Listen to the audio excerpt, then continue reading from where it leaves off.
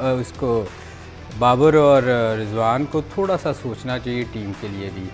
और मैं हँसी मुझे इसलिए आ रही है कि कि, आज हमने ना बाकी टीमों को अपने जैसा कर लिया है।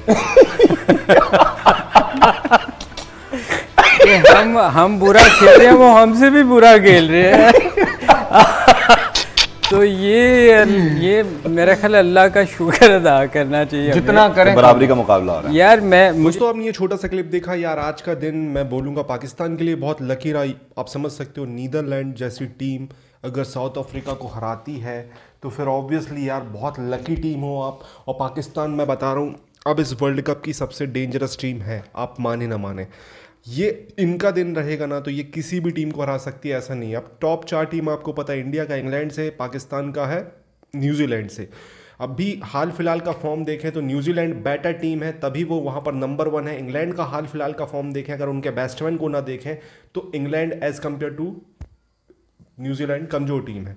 तो हम भिड़ेंगे नंबर टू से, पाकिस्तान भिड़ेगा नंबर वन से।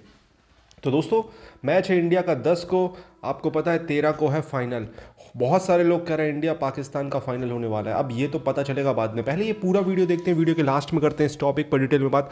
अगर आपको ये वीडियो पसंद आता है तो प्लीज़ चैनल को सब्सक्राइब करिएगा वीडियो को लाइक करिएगा। मैं चले आप बताएँ आप बात करें। गुडविल एम्बेसडर साहब आप बात करें। We are in the semifinals आप मुझे ये बोले I am not suppose to tell you this चाय भी पी रहे हैं ना आप? क्या?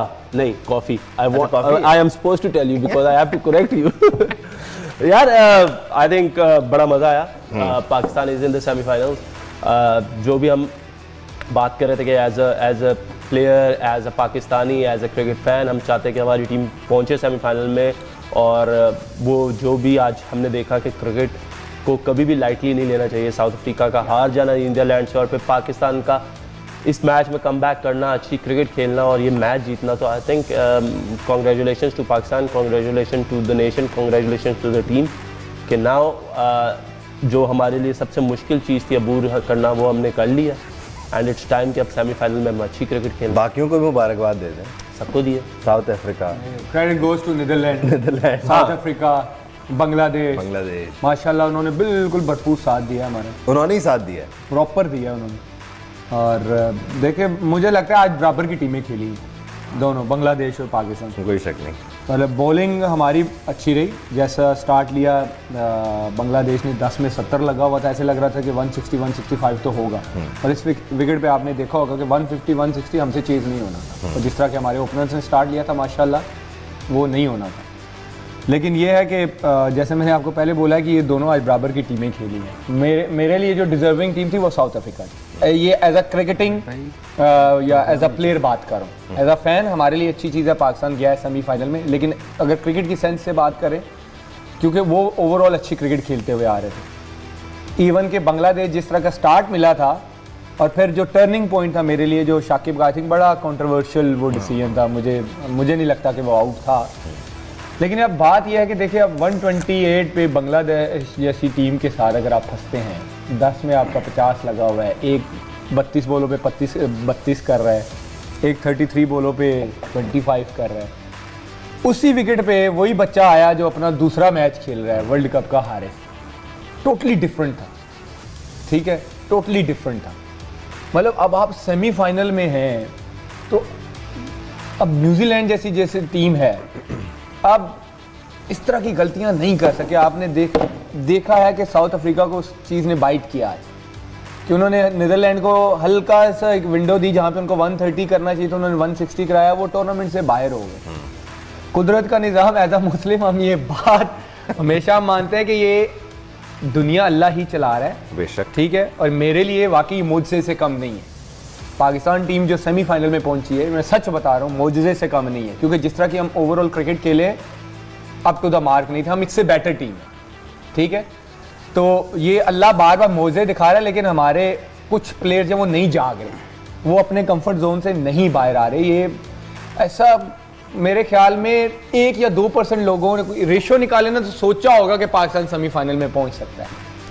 लेकिन अब फिर जिस तरह का अल्लाह ने हमें एक क्योंकि एज अ मुस्लिम हम बिलीव करते हैं जब इस तरह की चीज़ें होती है ना फिर आपको एक यकीन आ, आ जाना चाहिए कि यार अल्लाह हमारा पूरा साथ दे रहा है। हाँ आपको फ्रीडम रखना चाहिए ये डर ये अपनापन कि मैं बस कुछ कर कर लूँ। आप देखें हम 128 चेज कर रहे हैं और 10 पे 50 कोई आउट नहीं। उनका आउट हुआ लिटन दास पिछले ओवर में उससे अगले ओवर में शॉन्टो निकल निकल के मार रहा है चौके। ये इंटेंट की बात है। अब सेमीफाइनल में अगर आप इस तरह से डर के खेलेंगे तो मुझे नहीं लगता कि क्योंकि न्यूजीलैंड जैसी टीम है वो आपको कम नहीं करने देगी मैच के अंदर। हाँ आपको फेयरलेस क्रिकेट खेलनी पड़ेगी। जिस तरह आप न्यूजीलैंड में खेले थे आप न्यूजीलैंड में सीरीज़ जीत के आए ना किस तरह जीते आप? अच्छी क्रिकेट खेले थे आप। बॉलिंग भी अच्छी कर रहे थे साथ 150 160 चेज भी कर रहे थे। तो आपको थोड़ा सा मुझे लगता है कि मैं एज अ क्रिकेटर बात करूँ तो आपको थोड़ा सा अपना गेम प्लान में फिर कह रहा हूँ चेंज करना पड़ेगा। अब तो अब तो कर लो भाई। अब तो अल्लाह ने हर चीज़ आपके ला के ऐसे रास्ते में रख दी। अब तो करना पड़ेगा बाकी देखें पाकिस्तानी अवाम बहुत खुश है माशाल्लाह सबकी दुआएँ इसमें कोई शक नहीं अवाम जितनी हमारी हमेशा से दुआएँ करती है हमने देखा हुआ हम इस चीज़ से गुजरे हुए चैम्पियन ट्रॉफी उठा के देख ले 2009 का वर्ल्ड कप उठा के देख ले। और जिस तरह आज तो मुझे लगता है कुछ अवाम तो बेचारी इतनी सैड हुई क्योंकि वो ग्राउंड में नहीं गए होंगे क्योंकि किसी को इतना एक्सपेक्ट नहीं कोई कर रहा था। लेकिन यह कि अवाम दुआएँ कर रही है साउथ अफ्रीका ने पूरा साथ दिया है। जिम्बाब क्या कहते हैं? नीदरलैंड ने और बांग्लादेश ने जिस तरह के ब्लंडर्स किए हैं तब सेमीफाइनल एक स्टेप दूर हैं यार आप। एक स्टेप कि आप इमेजिन करो कि आप फाइनल में जा सकते हो और फाइनल जीत सकते हो लेकिन प्लीज़ जो साउथ अफ्रीकन कैप्टन गलती करके गया वो आप ना करें। आप अपना गेम प्लान चेंज करें माइंड सेट चेंज अब तो नथिंग टू लूज है ना आपके पास। अब तो आप सेमीफाइनल में अब तो आपको कोई डर नहीं होना चाहिए कि यार कि अब यहाँ से तो घर ही हैं। जीतेंगे तो फाइनल नहीं तो घर वापस। तो मतलब 128 मुझे लगता है कि 15-16 ओवर में आराम से 15 14 15 ओवर में चेज हो जाना चाहिए। स्किपर अब नहीं तो कब ये नहीं तो कौन? आमिर ने बिल्कुल ठीक बात की है। देखे आ, मेरा ख्याल है जिस तरह की हम क्रिकेट खेल रहे हैं हम आप ट्वीट भी देखते होंगे बार बार लोग कह रहे हैं कि यार इम्प्रूव करो इम्प्रूव करो अपनी ओपनिंग जो है। दोनों को। मगर हम उससे बाहर नहीं निकल रहे, जो एक शायद डर है कि हम फेल ना हो जाएँ। फेल तो वैसे भी हो रहे हैं। ऐसी सिचुएशन में हमेशा आपको अग्रेसिव खेलना चाहिए। क्योंकि वो जो, जिसमें आप फंसे होते हो ना कि आप, आपसे स्कोर नहीं हो रहा होता। आप जब अग्रेसिव खेलते हो ना तो कई दफ़ा आप उससे निकल जाती हो। तो मेरे ख्याल आमिर उसको बाबर और रिजवान को थोड़ा सा सोचना चाहिए टीम के लिए भी। और मैं हँसी मुझे इसलिए आ रही है कि कि आज हमने ना बाकी टीमों को अपने जैसा कर लिया है। हम हम बुरा खेल रहे हैं, वो हमसे भी बुरा खेल रहे हैं। तो ये ये मेरा ख्याल अल्लाह का शुक्र अदा करना चाहिए जितना करें। बराबरी का मुकाबला हो रहा है। यार मैं मुझे लोग ना हर हम जब आ रहे आते हैं ना यहाँ चैनल पे तो अक्सर आपके ऑफ़िस से भी और इधर उधर से लोग कहते थे जब अभी सेमीफाइनल मैचेस नहीं हुए थे हर कोई पूछता था यार हमारा कोई चांस है? तो यार मुझे तो कोई नज़र नहीं आ रहा बिल्कुल कोई चांस नहीं है। मतलब एक नज़र नहीं आ रहा था कि इतनी टीमें हार जाएँगी मैं बता रहा हूँ इतनी टीमें हार जाएँगी। ये मोजा है भाई। तो ये अल्लाह ताला का मेरा ख्याल मोजा ही शुक्र अदा करना चाहिए हमें कि हम पता नहीं कैसे मुझे तो यकीन पूरा अभी तक समझ नहीं आ रही कि हम सेमीफाइनल में किस तरह आ गए हैं पता नहीं इधर उधर से घूम हम पहुँच गए हैं। तो अब दुआ है कि वैसे जो टीम इस तरह आती है ना सेमीफाइनल में हम्म।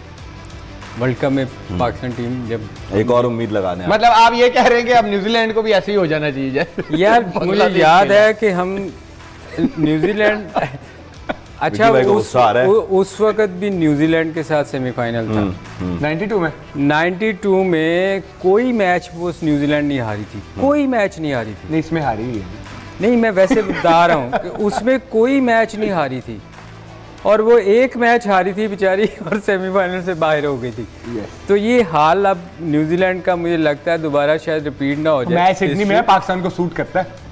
सूट दोनों को ही करता है ऐसी नहीं, नहीं पाकिस्तान को ज़्यादा करता है। पाकिस्तान और हमारा आपका तो मतलब है हम आपका मतलब है अगर हम बुरा खेले तो वो हमसे बुरा खेलेंगे। उनको बहुत बुरी क्रिकेट खेलनी पड़ेगी। हमारा मसला ये है ही नहीं सूट करता नहीं करता वो कुदरत का हमारे साथ होना ज़रूरी है।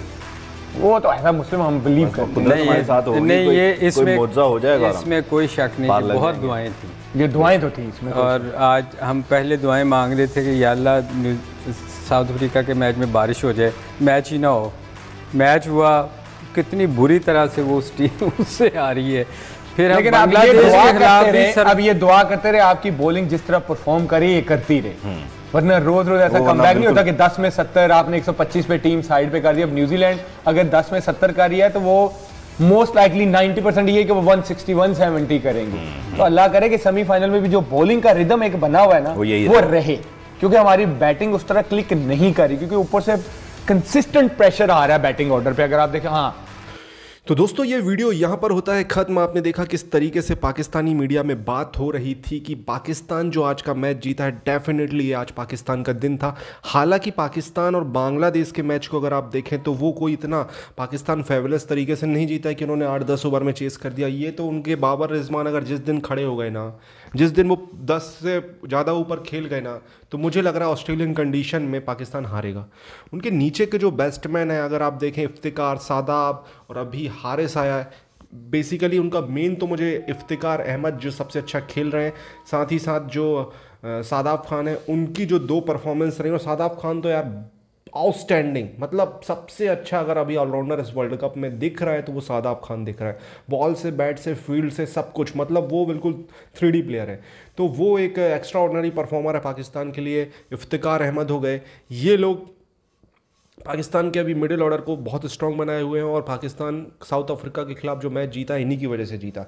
शाहीन अफरीदी भी फॉर्म में दिख रहे हैं साथ साथ हारिस राउफ कुछ थोड़ा सा मतलब वो परफॉर्मेंस नहीं दे रहे हैं जो उनसे एक्सपेक्टेशन है। और वसीम जूनियर शाहीन अफरीदी बॉलिंग भी काफ़ी ज़बरदस्त है। तो पाकिस्तान की टीम भी भैया मैं बोल रहा हूँ, ये सबसे खतरनाक टीम इस वर्ल्ड कप की अपने दिन पर किसी भी को भी हरा सकती है और अपने दिन का रना रहे तो ये जिम्बाब्वे से भी हार सकती है। इनका अगर इस वर्ल्ड कप का सबसे खराब मैच देखा जाए तो जिम्बाब्वे से हार और सबसे अच्छा मैच देखा जाए तो साउथ अफ्रीका से जीत। बांग्लादेश के खिलाफ ये लोग कोई उतना अच्छा जीते नहीं है बट होता है ये। अब चार टीम बची हैं, अब लक चाहिए, फेवर चाहिए और जिस दिन किसी टीम का दिन रहेगा तो वो जीतेगी। इंडिया की बात करें तो इंडिया के साथ अभी सीन ऐसा है कि आज का जो मैच था, आप देख सकते हो सूर्य कुमार यादव, आज विराट भी नहीं चले, सूर्या की एक पारी, ज़बरदस्त पारी, साथ ही साथ थोड़ा बहुत कंट्रीब्यूशन के राहुल से मिला और मतलब यार, रोहित शर्मा को यार अब दो मैच जो बचे हैं, इनमें चलना होगा यार। अगर आप इन दो मैच में चल गए ना तो एम एस धोनी की तरह 2011 में एम एस धोनी का पूरा वर्ल्ड कप अच्छा नहीं जा रहा था, फाइनल में चले वो तो उसी तरीके का कुछ सीन होगा। रोहित शर्मा, आप हमेशा याद रखे जाओगे। तो ये दो मैच में आप प्लीज़ चलो, आप बहुत बड़े प्लेयर हो। उम्मीद करते हैं, भगवान से प्रार्थना करते हैं कि आप चलोगे। साथ ही साथ उम्मीद करते हैं कि यार विराट कोहली दो मैच में और चल जाए, सूर्या का यही फॉर्म रहे और 25-25 रन की पारी पांड्या से, ऋषभ पंत से और के राहुल से तेज वाली आ जाए, तेज वाली तेज वाली तो फिर इंडिया का मैच बन जाएगा। और मैं चाहता हूँ कि अश्विन की जगह यार चहल को खिलाया जाए, बड़े ग्राउंड है, चहल को विकेट मिलेगी। आपको क्या कहना है इस टॉपिक के बारे में? प्लीज़ कमेंट में अपनी राय दीजिए, चैनल को सब्सक्राइब करिए अगर आपको ये वीडियो पसंद आता है। जय